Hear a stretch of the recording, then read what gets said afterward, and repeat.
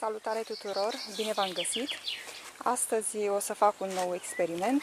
O să semăn câteva boabe de mazăre. Este o mazăre primită de la țărani acum un an și vreau să... Uh, din păcate anul trecut nu am avut unde să o semăn.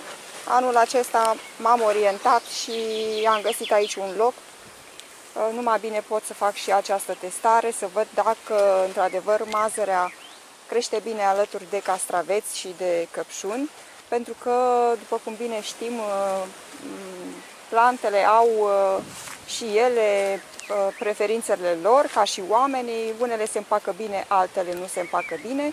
Și se pare că ar fi o asociere bună aceea dintre mazăre și castravete și mazăre și Uh, căpșuni. Nu am încercat până acum, dar uh, voi testa și voi trage niște concluzii.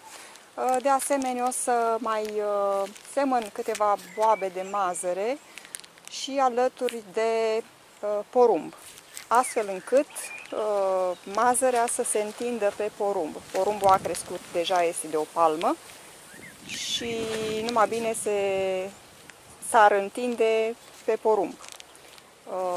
Uh, ca și fasole de altfel. Și fasolea și porumbul ar fi o asociere pozitivă, o asociere bună, favorabilă.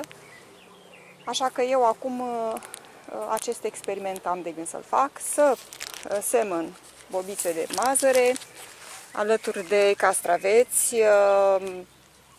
cred că o să pun la jumătate, aici undeva, mai aproape de plasă, ca să se întindă bine pe plasă și o să fac așa câte o, o cropiță între castraveți, ca să fie o distanță de o palmă, să zic, de 15-17 cm.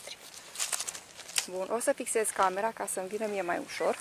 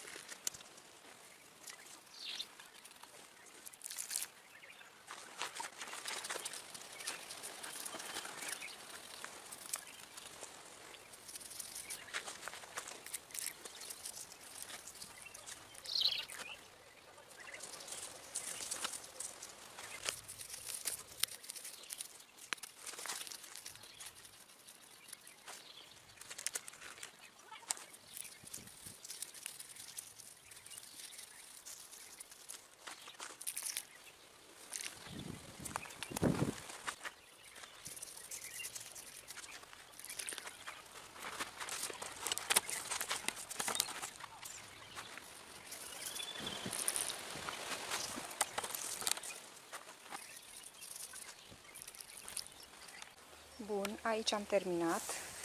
Am pus câte două bobițe, căci nu știu dacă vor germina sau nu toate.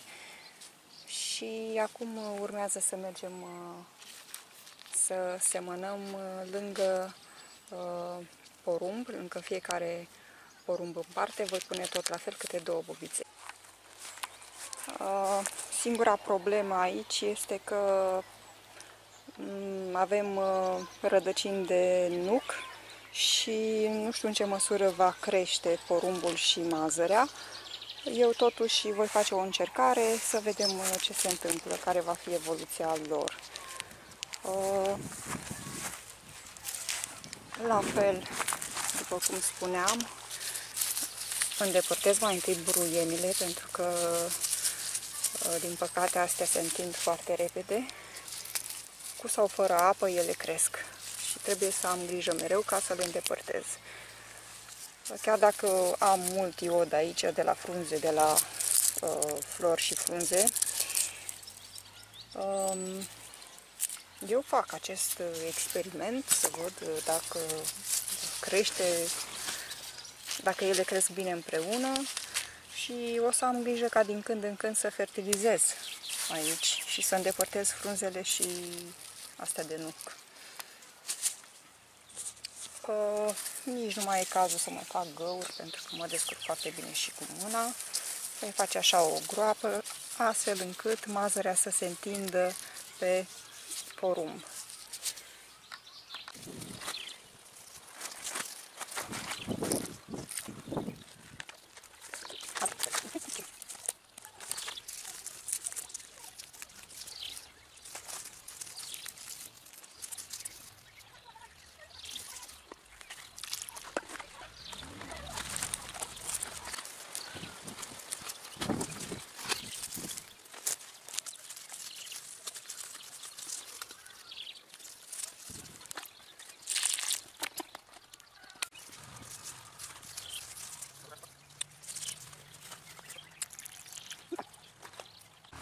Am terminat de semănat și aici, lângă porumb, câte două bobiți am pus și rămâne de văzut cum anume se vor dezvolta aici împreună, ținând cont că porumbul sunt destul de apropiați, doi câte doi, aici colo, aici avem câte unul, și iarăși, ținând cont că avem și mulți nuci în zonă și nu prea se dezvoltă nimic în zona asta aici. Pentru acest lucru vom avea grijă, din cauza acestui lucru vom avea grijă să fertilizăm uh, uh, atât porumbul cât și mazărea.